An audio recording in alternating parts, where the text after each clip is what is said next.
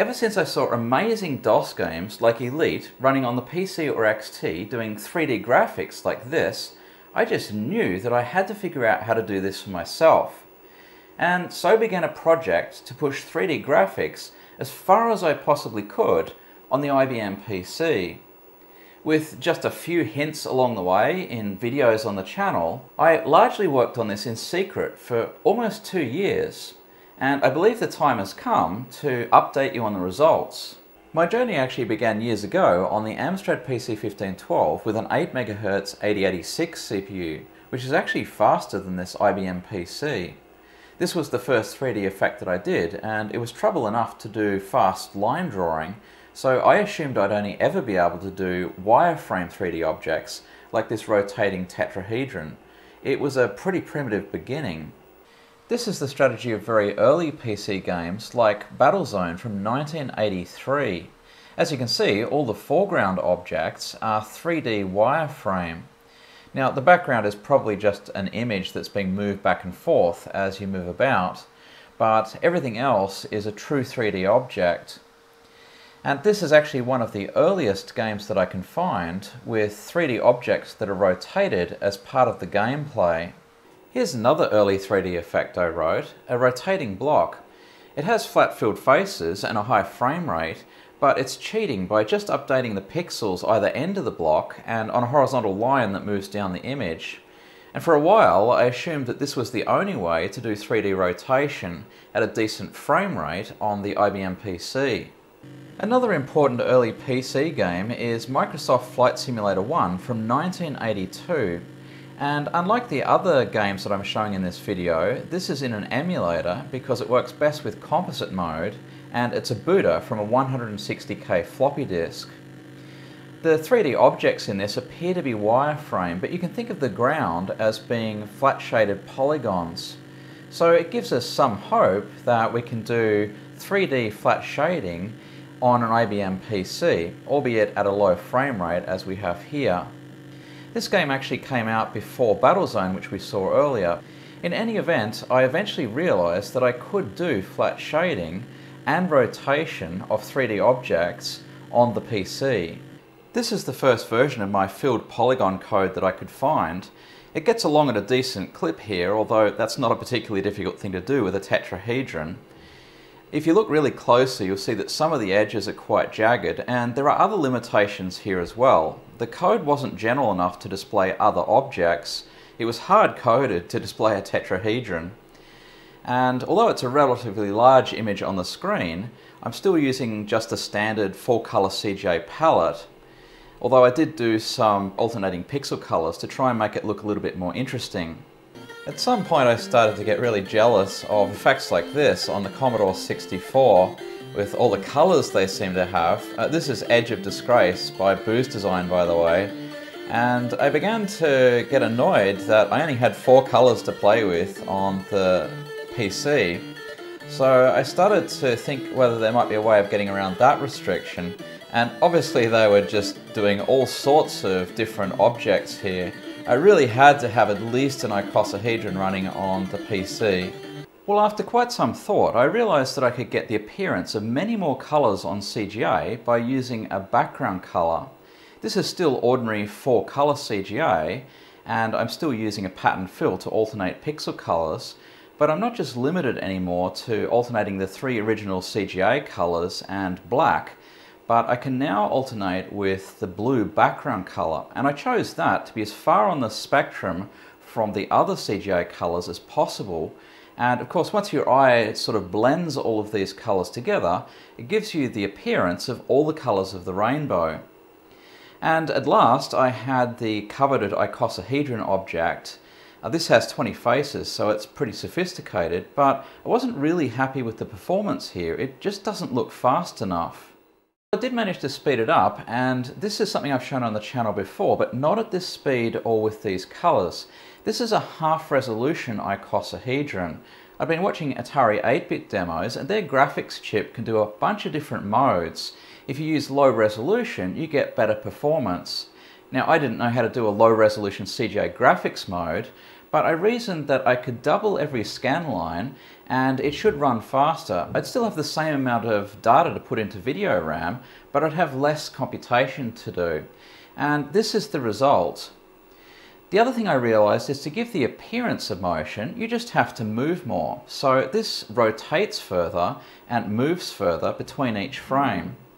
But to my eye, it still looks too jagged. Uh, the low resolution just didn't do it for me, so I decided to go back to the ordinary resolution. Well, I was able to speed up the normal resolution version. This is 21 frames a second, and it was done with more assembly language, of course. No small feat, given that there were thousands of lines of code involved. But I think the result does look better with the higher resolution. There was just one problem, and that is that the code was now monstrously complicated. Instead of just blanking the image out and drawing the new frame in its place, for performance reasons, I was just blanking out the pixels on the very edge of the rotating object that absolutely needed to be blanked for the next frame, and this led to a lot of glitches. It made it difficult to change the speed of the object or the speed of rotation or even the object itself. So I decided I needed a new version that was much more flexible and didn't have these limitations so that I could make more of this effect. Well, I finally realized that it was faster to do all the editing in an off-screen buffer and then just copy everything rapidly over to the video RAM. And then it was easy to add additional effects like the reflection that you see here and also to save copies of images into memory buffers so that I could do an animation and actually have two objects on the screen at the same time. Well, the code was much simpler and easier to make changes to, but remarkably, it was the same speed or even faster than what I'd been doing before. But I was starting to grow tired of the colors. I wanted something more subtle and besides that, the animation at the end was just displaying the same object twice on the screen, and I thought it would be cool to have different objects displayed at the same time. So I wrote yet another version of the code. Well, another change of color, and I finally realized that I can put a background on the image. After all, I'm rendering everything in an off-screen buffer anyway. And now I have three objects. So the second one's an icosahedron, and the third one is something that looks like an icosahedron, but actually only has 16 faces instead of 20. Of course, all of this took a lot of effort because I had to get the pre-computation for each of the objects way down from 30 seconds all the way down to one second. And that means apart from the animation at the end, this effect is now almost entirely real time. Who thought that would be possible on an IBM PC? And I'm pretty happy with how it came out, except that the animation is a little bit short due to limitations on the amount of memory that there is in the PC. But there's a few more things I can do if I move to another system. Before I do that though, what about those DOS games? I found heaps of them in my research and I want to show you some of the best ones as a teaser. Of course there's going to be a video about that in the future on the channel. The first game I want to look at here is Pylon Racer from 1985. And this game is significant, apart from being 3D, for a number of reasons. First of all, as you can see, the background colour is light blue instead of black. And although this is not a great choice of colour, it does make for a more interesting image than a standard CGA palette. The second reason the game is interesting is the plane that you're chasing here is an actual 3D model not a sprite, and this was pretty revolutionary for Flight Simulator of 1985. The third reason the game is quite interesting is you could actually play it over a 1200 baud modem with an opponent instead of chasing the computerized plane. And if you wanted the full version of the game, you could write to the authors and pay $49.95. This is just a demo, which was freely copyable, of course.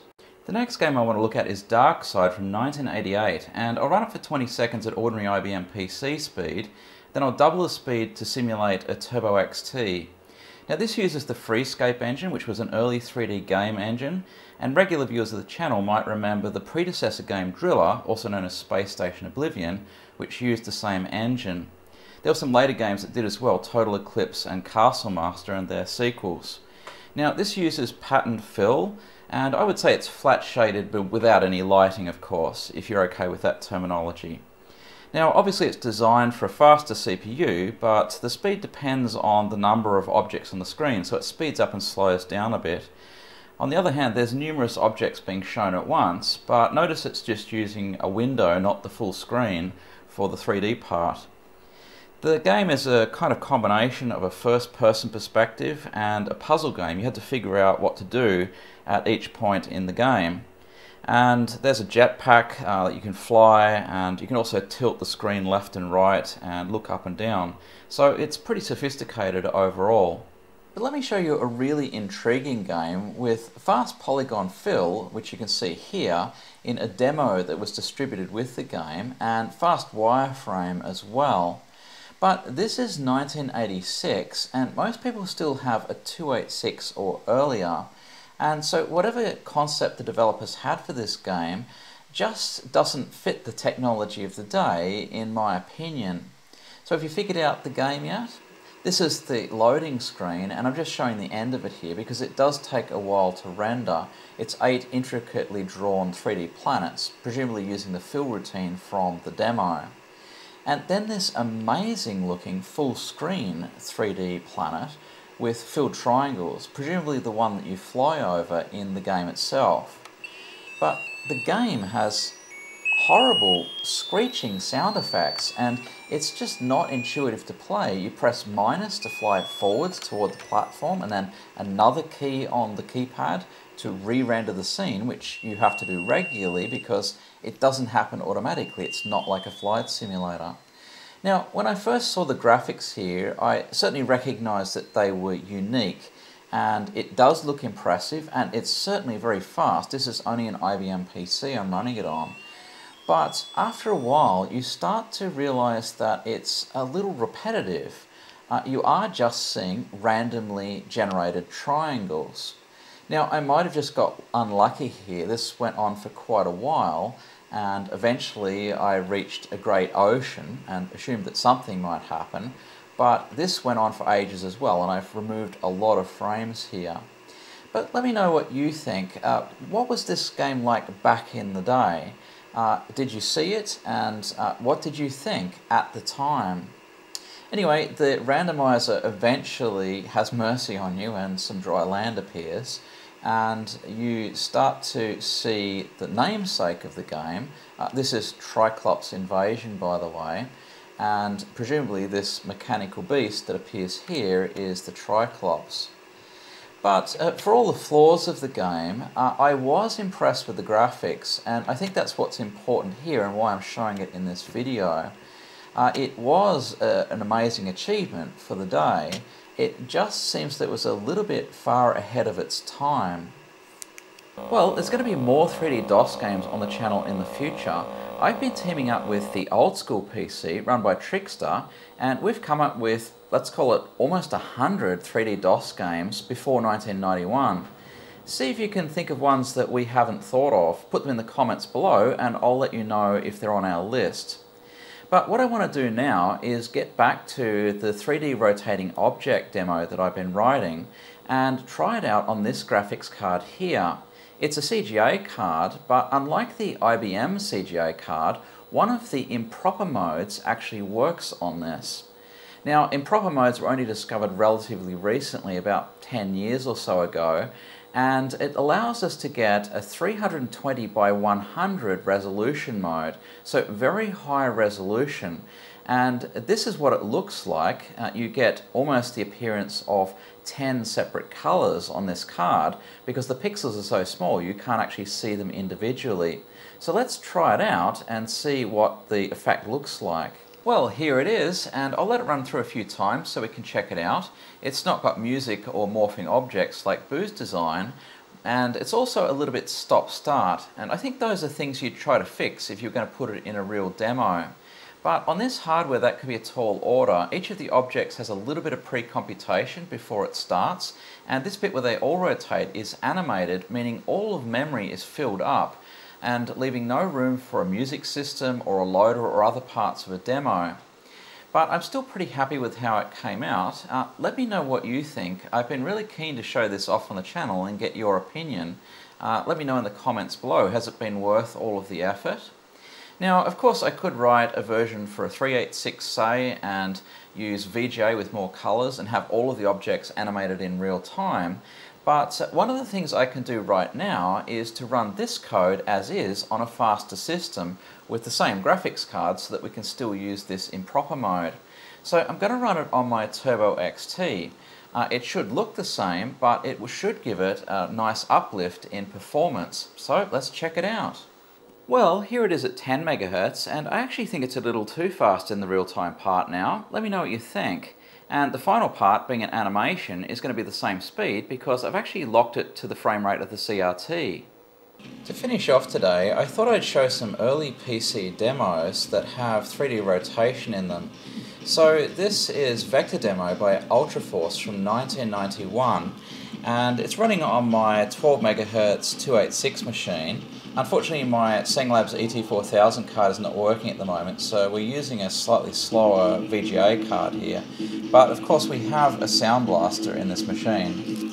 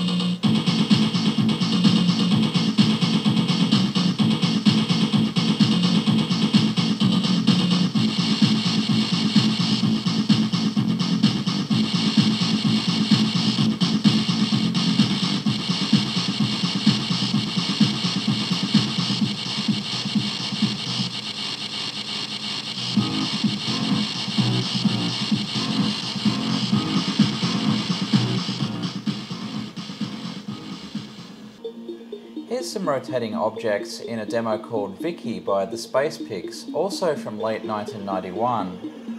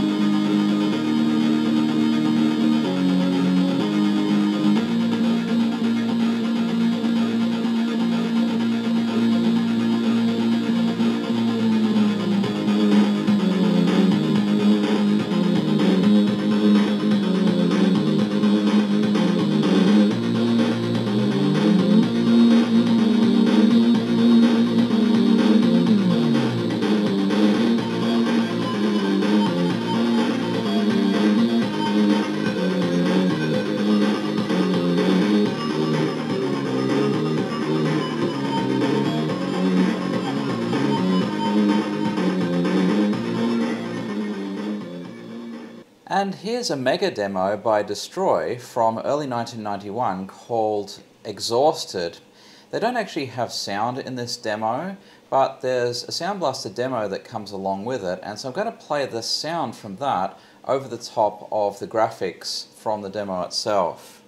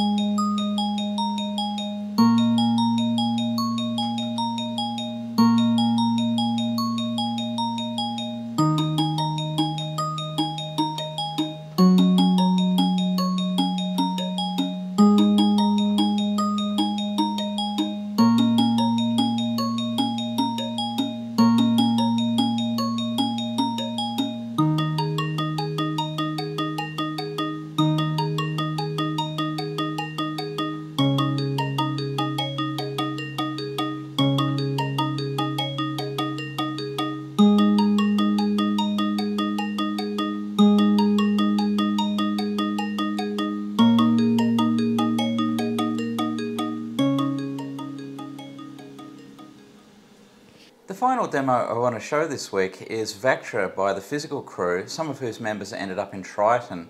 This is one of my favourite demos from 1991, but unfortunately the sound doesn't work very well on a 286. It has a high-pitched whistle that I wasn't able to get rid of, and uh, it also sounds distorted. So I'm playing it here without sound, and uh, this is going to be it for this week, but if you'd like to help the channel out, one of the ways you can do that uh, in regard to the algorithm on YouTube is to comment below. It turns out that likes and comments and also watching the video to the end, which you've just done, thank you very much for that, uh, really help the algorithm pick the channel up. So anyway, that's going to be it for this week. Uh, thanks very much for watching and I hope you enjoyed this video and we'll see you in a later video. Bye!